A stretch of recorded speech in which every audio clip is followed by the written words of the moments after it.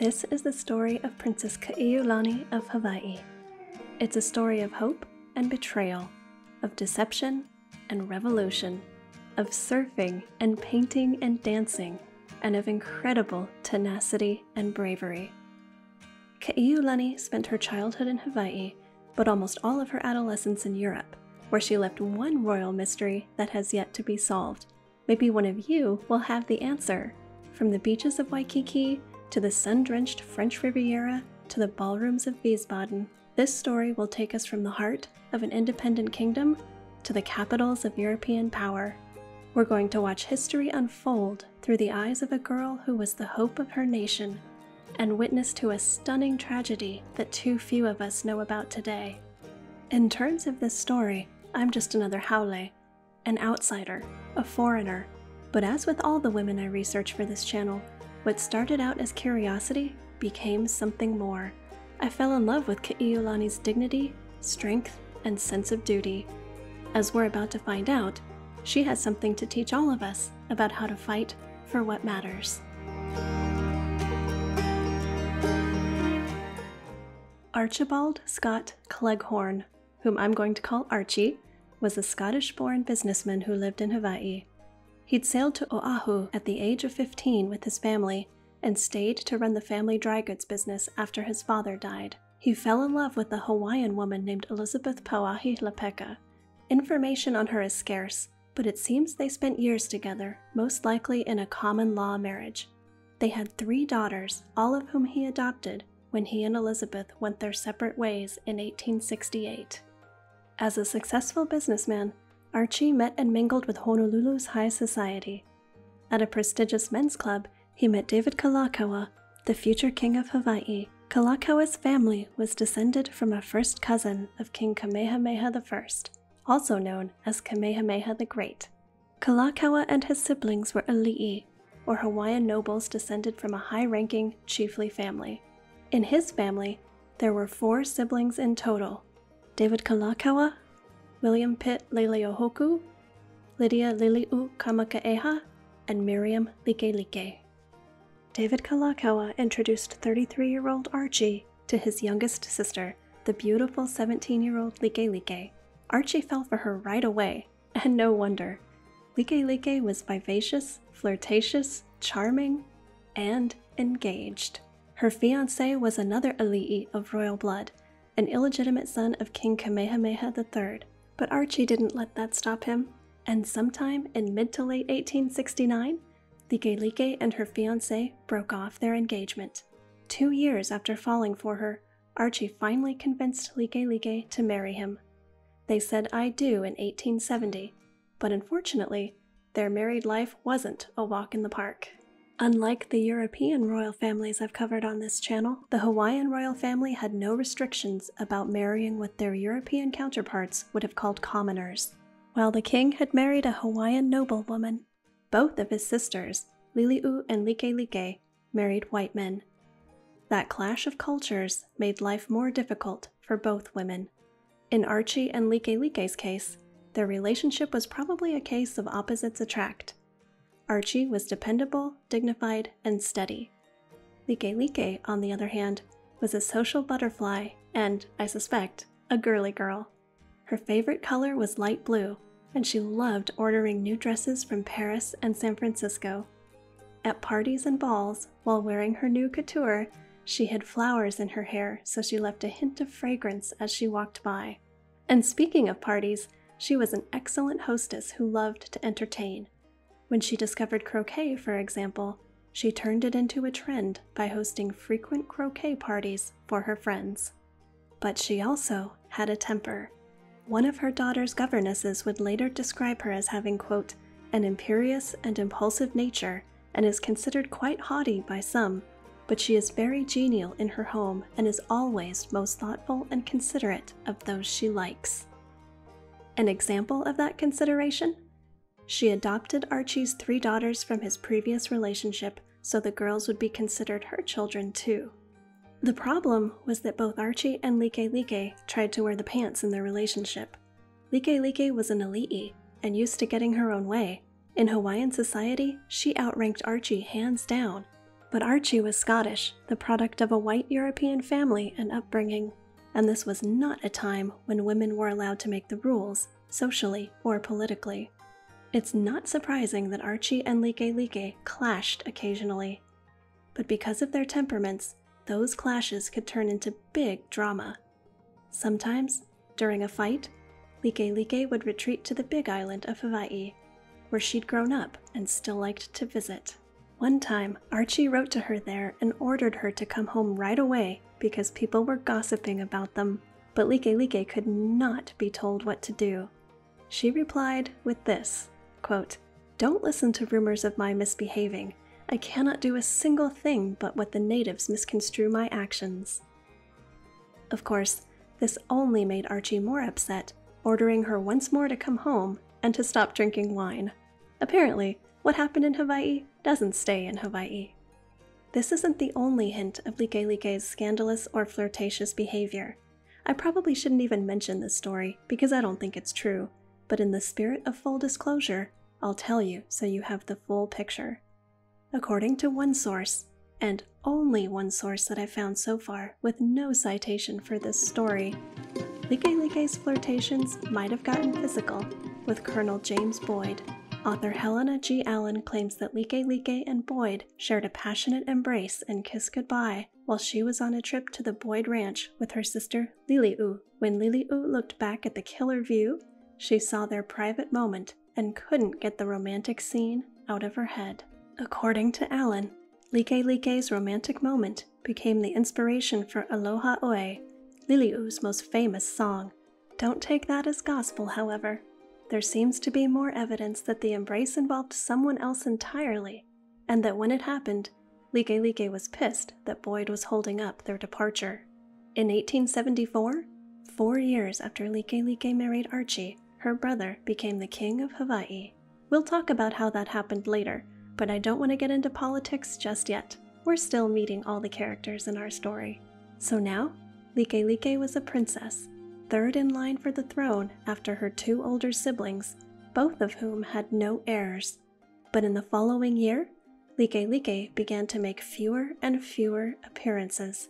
She's barely mentioned in the newspapers in the spring of 1875 that was because, after five years of marriage, Likelike was pregnant.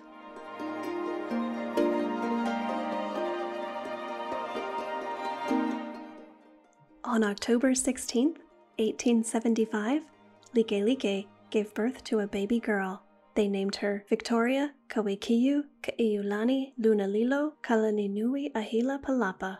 You'll see the order of those names appear differently in different sources, I've seen it at least six different ways. Interestingly, the order of her names isn't even the same in her father's diary and her father's birthday book, and the last of those names isn't listed in her father's diary entry for the day she was born. Her parents chose the name Victoria to honor the granddaughter of King Kamehameha I and former Crown Princess of Hawaii, Victoria Kamamalu, who had in turn been named after Queen Victoria. But within the family, she was called Kaiulani, and from the moment she arrived, she was special. It had been almost 20 years since a royal baby had been born in the direct line of succession.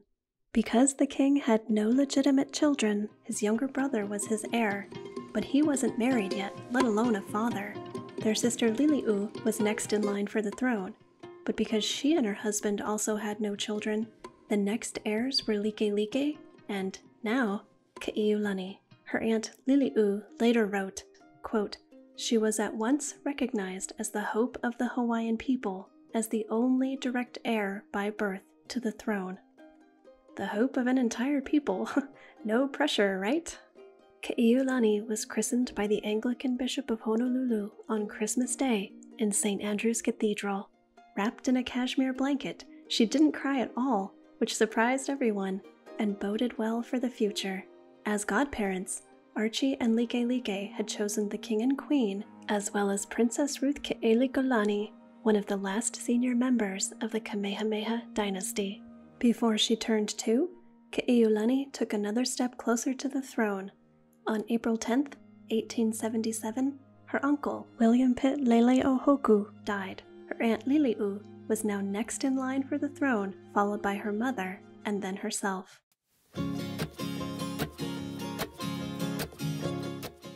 When Ka'iulani was three, her dad sold the house she'd been born in and moved the family out to Waikiki. In those days, Waikiki was a beach retreat, a four mile carriage ride from the city center. Her godmother Ruth had given her property there, and her dad bought an additional beachfront lot to create a 10 acre estate where he built their new house. Likelike named it Ainahau, Hawaiian for the cool place, thanks to the refreshing breeze that swept down from the mountains.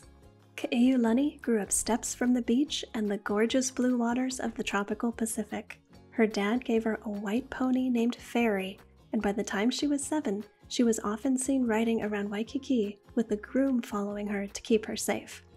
She also learned how to surf, swim, and paddle an outrigger canoe. Archie created a spectacular garden that included the island's first banyan tree, which his father had brought to Hawaii from India. There were also 300 coconut palms, mango trees, date palms, cinnamon trees, teak trees, Monterey cypress, hibiscus, lily ponds, and Ka'iulani's favorite flower, Chinese jasmine. He added a giant tortoise and peacocks, which Ka'iulani fell in love with. She taught them to eat out of her hand, resulting in her nickname of the Peacock Princess. The enormous banyan tree provided shade and a place for Ka'iulani and her friends to play. There, with her half sister Annie, she learned to dance the hula, sing, and play the ukulele. The Hawaiian royal family was incredibly talented when it came to music, songs, and poetry. Ka'iulani's uncle, the king, wrote the lyrics for the national anthem, Hawaii Pono'i. As we mentioned, her aunt Lili'u composed Aloha Oe, one of the most famous Hawaiian songs of all time. If you've seen the Disney movie Lilo and Stitch or the Elvis movie Blue Hawaii, you've heard this song. And that was just one of over 200 songs Lili'u wrote in her lifetime. Ka'iulani's mom, Likelike, composed songs too. In fact, along with their deceased brother, William Pitt Leleohoku, these four siblings were referred to as Nilani Eha, or the Heavenly Four, for their musical abilities and efforts to support Hawaiian culture. The family's musical spirit added to the magic of Ainahau. On Sunday afternoons, friends and family gathered to relax, sing, and play music. In addition to the king, frequent guests included the only other royal children near Ka'iulani in age. These were the three sons of Queen Kapi'olani's sister, David Kawananakoa, Edward Abel Keli'iahonui, and Jonah Kuhio Kalanianaole. When the boy's mother died, two of them, Kawananakoa and Kalanianaole became Hanai sons to the queen. You may see the word Hanai referred to as adoption or fostering, but those are English words that the early missionaries to Hawaii used to describe something they had no equivalent for and no understanding of when they first encountered it. At birth, it was the custom for Ali'i parents to give their child to a relative or friend. A child given in Hanai was considered the new parent's child as much as any of their natural children. Hanai had practical benefits, like strengthening relationships between family groups. In Ali'i families, it could also give that child a higher rank and station in life.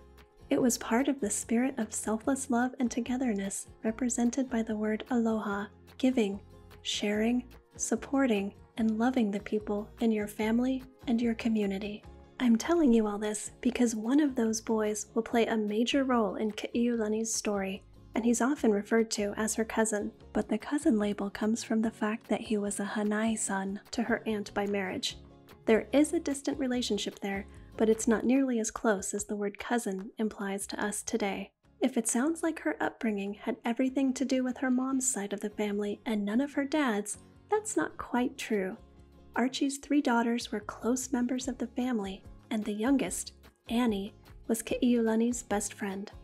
Archie also took steps to teach her about money and business. When the social club he belonged to incorporated in Honolulu, he bought his seven year old daughter two shares and explained what it meant to hold stock. Money wasn't a problem yet, but it would become one in the future.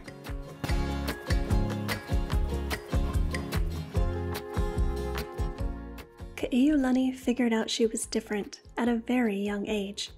When a friend got in trouble for sitting on her bed, her nurse told her it was because she was a princess and her friend wasn't. Is it very nice to be a princess? Ka'iulani asked. And the nurse told her it was the nicest thing in the world, except for being a queen. And from that moment, as she later told a reporter, Ka'iulani always wanted to be a queen. Ka'iulani later described herself at this age as, quote, naturally naughty. Part of that naughtiness came from the knowledge that she was a princess. She was raised with the certainty that others would be punished if they touched her or took her things. Through the tales of old Hawaii, she learned that people used to be killed if they stepped into the shadow of royalty. Hawaiians believed the Ali'i were literal descendants of the gods. It's no wonder there were a few tantrums when she couldn't have her way. Luckily, her governess found the right question to get through to her. If you never obey any authority, how can you expect others to obey you someday? It was the exact right question to ask because it tied together the concept of royalty and duty. As we'll see, those two concepts became intertwined and ingrained in Ka'iulani for the rest of her life, because even as a little girl, she had social obligations as a member of the royal family. She went on trips, including one with her Aunt Lili'u, on a tour of state around Oahu, where she saw friends and subjects pay their respects. When she had to attend a special event or go see an important visitor in Honolulu, she used her mother's state carriage made of tortoise shell with gilt harnesses for the horses. Every single aspect of her life reinforced the idea that she was special and that she had a role to play in her family and in her country. Imagine how this shapes your goals, your image, and your sense of self worth. Imagine growing up 110% secure in your purpose and your place in life, and then imagine what happens when all of that comes crumbling down around you. But there's one more influence I want to tell you about. It was a side of her mother we haven't seen yet a dark, dramatic, fatalistic side. In 1883, Likelike and Archie had yet another fight, and she went to the Big Island to get away. From there, Likelike wrote him a disturbing letter. Quote, You always blame me in everything, and I'm getting tired of it. I will have to kill myself, then you won't have me to growl at all the time. I think we are better separated, as you don't love me, and I don't love you. Yikes, right? And as we'll see later, Ka'iulani also inherited some of this darkness, this fatalism.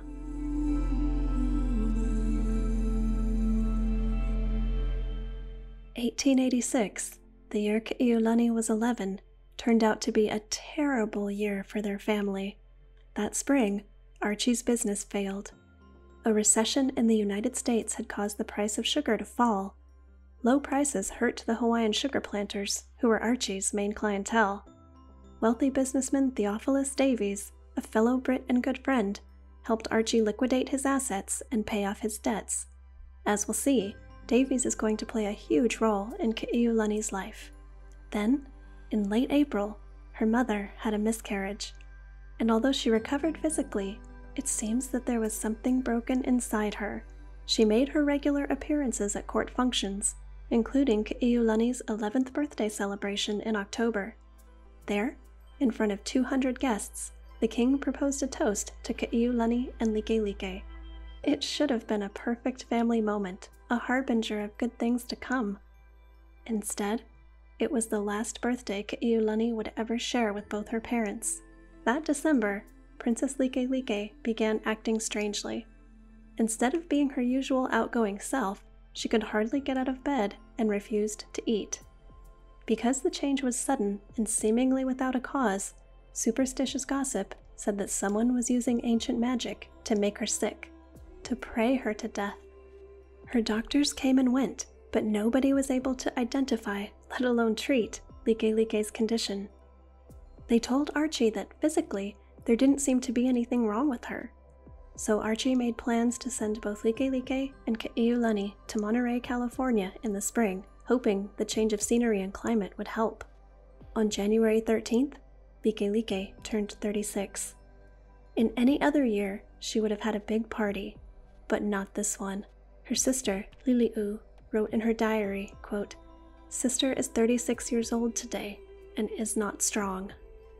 When the volcano of Mauna Loa erupted on the island of Hawaii on January 16, 1887, it wasn't a good omen. To those who still believed in the old ways, it meant the volcano goddess Pele was angry. Likelike believed the eruption had something to do with her, even though her sister called this belief, quote, a piece of superstition. The king's prime minister wrote in his diary, quote, The Princess Likelike is said to be in danger, refuses food, affected by her native superstition that her death is required by the spirit of Pele of the volcano. The king is angry with his sister on account of her obstinacy in refusing food. Another bad omen was the report of a school of red aweo fish off the island of Hawaii, where Likelike had once served as governess. Their appearance was believed to be a sign that an alii was about to die. Her family called in two more doctors, but they couldn't help. On the afternoon of February 2nd, 1887, Ka'iulani was told that it was time to say a last goodbye. Afterward, she tearfully told her governess about her mother's last words to her. Likelike had said that Ka'iulani would leave Hawaii for a long time, that she would never marry, and she would never be queen. According to one source, Likelike's last words to her sister were, Ka'iulani must not marry one she does not love. At about 4:45 p.m. that afternoon, Likelike died. The newspapers, unsure what to say about her death, described it as a heart attack, exhaustion, or just the product of her delicate health. As Hawaiian protocol for the death of an alii dictated, the body could only be moved after midnight. Ka'iulani accompanied her mother's body to Iolani Palace by a torchlight procession. They arrived at the palace shortly after 3 a.m. She would remain there with her mother's body as it lay in state for three weeks until the funeral. At the palace, when she saw her mother dressed and laid out on the bier, she said she screamed once and then couldn't find a voice to cry or scream again. Later, Ka'iulani said, quote, I idolized my mother. She was charming, very brilliant, very happy and sunny. We worshipped each other, and I have missed her every day from the first dreadful day she died. After the initial shock of her mother's death had passed, court gossip began to hint that the king, Likelike's own brother, had been the one who prayed her to death. She had been a sacrifice required to retain his shaky hold on the throne. This was probably the first time in her life that Hawaii's deteriorating political situation hit home for 11 year old Ka'iulani. It would control virtually everything about the rest of her life, beginning with defining her relationship to her remaining parent. After Likelike's death, the Minister of the Interior, a lawyer named Lorrin Thurston, forced Archie to go to court to become Ka'iulani's legal guardian. And if that sounds like a jerk move, I agree. Unfortunately, we need to remember that name because Lorrin Thurston is about to play a major role in our story. And from Ka'iulani's perspective, that role is the villain. To explain why, in a more comprehensive fashion than just calling him a jerk, we're going to have to take a step backward in time.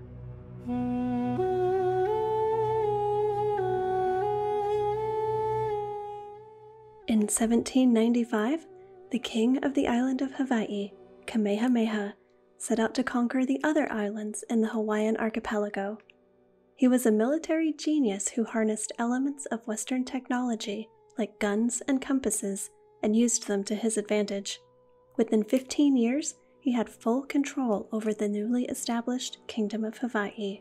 When he died in 1819, he was succeeded by his son as Kamehameha II. Up to this point, Hawaiian society had been governed by a strict system of rules called kapu, or taboo. If you violated kapu, you were punished, not only by man, but by the Hawaiian gods. Kapu had particularly restrictive rules for women. Men and women couldn't eat together, for example, and certain foods were off limits to women, including pork, bananas, and coconuts. Not all of the kapu were bad, however, like the rules that focused on responsible farming and water usage. But sometimes, Hawaiians violated kapu, and nothing happened. And then, when Western visitors arrived and violated Kapu without any cosmic punishment, it provided the opening that two very ambitious women had been waiting for. Kamehameha I's favorite wife, Ka'ahumanu, had already decided the Kapu system had to go. With the help of the new king's mother, she prodded Kamehameha II to abolish the Kapu system in November of 1819, just months after his father's death. He followed this up with an order to burn all the idols and destroy all the temples. There was no going back now. In one of the greatest historical coincidences ever, just four months later, a group of Congregationalist missionaries from Boston, Massachusetts arrived with the goal of converting Hawaiians to Christianity. So now we have a culture suddenly cut loose from the traditional rules that underpinned its entire social and behavioral code, and a group of people who, out of the blue, show up with a new one. The missionaries brought with them Western names, clothes, technology, and medicine. Both of the powerful women who had helped break the Kapu system accepted medical care from the missionaries and eventually accepted their religion too. Their conversion led the way for other Hawaiians of noble and royal blood, whose example trickled down and inspired many of their subjects to do the same. Unfortunately, the more Western visitors Hawaii received, the more Western diseases decimated the population. Hawaiians had no previous exposure, and thus no natural immunity or antibodies, to diseases like measles, whooping cough, influenza, smallpox, and venereal disease, which often resulted in infertility. Before Europeans arrived, the islands had an estimated population of anywhere from 300,000 to 1 million. But by 1836, that number was down to about 107,000 native Hawaiians. Almost 20 years later, that number was down to about 73,000. But the biggest and most controversial changes were yet to come. King Kamehameha II's brother, who ruled as Kamehameha III, decided to turn his absolute monarchy into a constitutional monarchy like the one Great Britain had under Queen Victoria. But to do that, Hawaii needed all the trappings of Western government a constitution, a legislature, a Supreme Court, and well defined voting rights for Native Hawaiian men. So he made all of that happen. Then under pressure from white settlers, he instituted a sweeping land reform called the Mahele, which converted Hawaii's system of communal land use into one based on private property. But up to this point, there was no word in the Hawaiian language for privately owned land because there was no such concept. For their entire history, the Ali'i had been in charge of seeing to their people's needs and making sure no one went hungry. The concept of aloha meant that you gave what you had and if you had nothing, you gave of yourself. Everyone helped everyone, and neither money nor material possessions were part of their value system. How could a piece of paper change that? The government did a terrible job explaining this new concept, so many Native Hawaiians were either unable to claim land or claimed it and later sold it, not understanding what selling meant. But of course, the American and European settlers understood these systems they swooped in and bought as much land as they could, through fair means and foul, with the intent of starting businesses and sugar plantations. By the 1890s, a handful of white planters controlled four fifths of Hawaii's arable land. As his next step, King Kamehameha III sent representatives to other countries requesting recognition for Hawaii as a sovereign nation. Great Britain, France, Belgium, Denmark, Sweden, Italy, Russia, Portugal, Japan, and the US, among others, recognized Hawaii as independent. But from the get go, some Americans were already thinking about how to make some, or all, of Hawaii theirs. Many white settlers in Hawaii were the kids and grandkids of American missionaries, some of whom became prominent members of the royal court and government. There was also no denying the fact that many of the white settlers were incredibly successful, financially speaking. The U.S. Civil War had provided a huge boost to the Hawaiian economy. With the North cut off from its traditional sugar suppliers in the South, they turned to Hawaii, and the planters made a fortune. So, to sum all this up, we have an increasingly prosperous white merchant class who control resources like land and water, as well as publicity vehicles like newspapers. We have a declining population of native Hawaiians due to infertility and disease, and we have the royal family stuck in the middle of all of this. And one of the men determined to preserve not only the Hawaiian culture, but the entire Hawaiian race was Ka'iulani's uncle, King Kalakaua.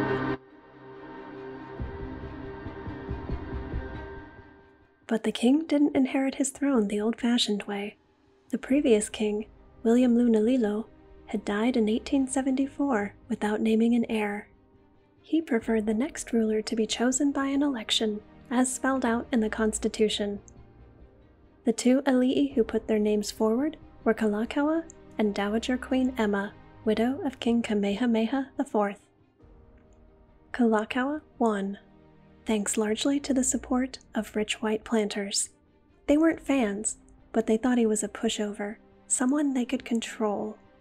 They needed him to resurrect the stalled reciprocity treaty with the US, which would let their Hawaiian sugar enter the US without additional taxes. That treaty did get passed. However, the US Senate added an amendment, a sort of diplomatic first dibs, it forced the king to guarantee that he wouldn't lease or grant any Hawaiian land to any other nation. It made the white planters happy, but native Hawaiians could read between the lines. America had just put its foot through their door. How likely was it that a foot was all they wanted? But the king had other problems to solve. Ka'iulani's family didn't have a lot of money. The king and his siblings were all land rich but cash poor. So in 1880, the legislature voted to pay them salaries for the first time, but the king spent money like water. And when he ran out, he borrowed money from one of the most powerful sugar barons, Claus Spreckels. When word got around that the king owed Spreckels millions, everyone assumed it meant Spreckels was running the government. This begs the question what did the king do with all the money he borrowed? In 1879, he almost bankrupted the treasury to rebuild Iolani Palace. The legislature approved $50,000 for the renovation, but the final cost was roughly $350,000, which, if you've ever seen an HGTV renovation show, seems par for the course. In 1881, he took a trip around the world, becoming the first monarch to personally circumnavigate the globe. In New Jersey, he met Thomas Edison and asked the inventor to help Hawaii modernize with electricity. From Vienna, he wrote home about how wonderful Johann Strauss's band was, calling the music, quote, the best I have ever heard. And when he met Queen Victoria at Windsor Castle, he said, quote, I was quite electrified and monopolized the whole of the conversation. Six year old Ka'iulani had actually written to him and asked him to bring her a diamond ring. The king replied to Lili'u and said he would, quote, bring her a much more valuable present than a diamond ring. I don't know for sure what he had in mind, but I can take an educated guess. While in Japan, he had a meeting with the emperor Mutsuhito. He suggested an engagement between Ka'iulani and the 15 year old Prince Yamashina Sadamaro. The engagement would have created a much closer relationship between the two countries, and that's probably exactly what the king was after. The emperor didn't say yes, but he didn't say no either. It took almost a year for the Japanese response. The prince wrote a very polite note to say thanks, but when he asked his dad, he found out he was already betrothed. But the specter of a Japanese engagement lingered. We'll see this come up again later, at a time when Ka'iulani least wanted it to. When the king got home, he had a good idea of how royalty in other countries lived, so he set out to make sure the Hawaiian monarchy was on the same page. He had never had a coronation, so he scheduled one for February 12, 1883, to be held at Iolani Palace. Incidentally, the world's first royal palace with electricity, thanks to the king's visit to Thomas Edison. Seven year old Ka'iulani was there when King Kalakaua crowned himself. This wasn't a flex like it had been when Napoleon did it. it was more like a compromise. He had told his sister Liliu that it was the only way to keep the peace between all the people who thought they should get to do the honors. But when it came time for the king to crown his wife, Kapi'olani, there was a problem. Her hairdo was too big, and the crown, which you can see in this picture, wouldn't fit. After his first try failed, her ladies in waiting had to come unhook her veil, diamond tiara, hairpins, and a comb from her hair. He tried again, and still the crown wouldn't fit. This time, he shoved it down until it stayed put. Those nearby said they saw Kapi'olani wince. This was the only royal coronation held on what would become American soil. And although it was a glamorous event, it didn't achieve the unity the king had hoped for. The legislature had approved $10,000, but the coronation cost more than $30,000. To the Americans, any money spent on a monarchy was wasted. After all, America had fought a revolution to get out from under a monarchy. In their opinion, the only good government was a republic. Plus, they preferred the money be spent on roads, railroads, and transportation to help them get their sugar to market faster. In addition to his spending, the king was involved in some sketchy financial transactions. These included hush hush land leases, the sale of political offices, and a case of double dipping when he sold an opium license twice and refused to return the second buyer's money. This is not the kind of honest and upright stuff you want from your king, no matter how good a musician he is, or how good his intentions, or how much fun he is at parties. And eventually, it all started catching up with him. Two of the king's most vocal opponents were Lorrin Thurston, whom we briefly met, and Sanford Dole, both whites born in Hawaii to American missionaries.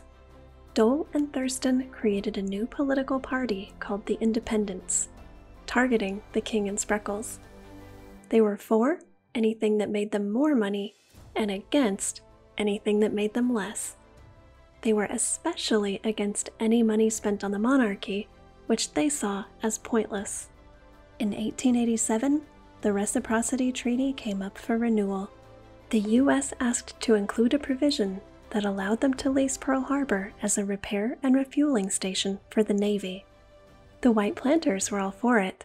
Needless to say, Native Hawaiians and the royal family were not. But Hawaii's entire economy was bound up in the sugar trade, and that sugar trade depended on preferential treatment from U.S. importers. So, for the time being, the king felt he had no choice he gave the US what they wanted to keep the economy humming. When the court painter's wife asked him why the independents were hassling him so much, he told her, quote, It is not me personally at all. What they want is my country. And that's where we're going to leave Ka'iulani and her family in the midst of a struggle for the land, the resources, and the very soul of Hawaii. Check out video 2 in my series on Ka'iulani to continue the story. We're about to see one part of her mother Likelike's deathbed predictions come true. Thanks so much for watching. If you enjoyed this video, please leave a comment, like, or subscribe. Before recording, I watched a lot of videos, listened to a lot of podcasts, and made an audio supercut cheat sheet of pronunciations from Hawaiian speakers. Still, it's not the same thing as being able to speak the language properly, and I apologize for anything I got wrong. For more fascinating stories about royal women, check out my website at girlinthetiara.com and sign up for my mailing list. I put links for both of them in the description. You can also support me on Patreon for as little as a dollar a month that support helps pay for books and research subscriptions to help me track down more information on little known royal women. There's a post there now with lots of tidbits about Queen Kapi'olani and Princess Liliuokalani's trip to Queen Victoria's Jubilee in 1887 that you might be interested in. To all my patrons who are watching, thank you so much. Your support helps keep this site and this channel going. Thanks so much for watching. Until next time.